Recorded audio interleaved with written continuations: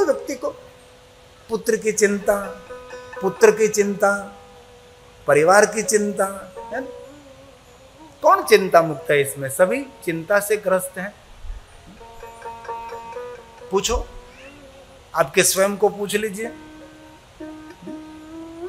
अभी नहीं तो शाम को बैठकर कागज़ और पेन लीजिए और लिखिए। पहली चिंता तो आरोग्य की है, दूसरी चिंता व्यवसाय की है तीसरी चिंता परिवार की है, क्या नहीं है? एक चिंता लेकर हम नहीं बैठे हैं। बहुत सारी चिंताओं का ढेर लेकर हम बैठे हैं। लेकिन एक बात कहूँ, सभी चिंताओं से दूर रहना है तो भगवान शिव जी के नाम का चिंतन करो, सभी चिंता दूर हो जाएगी।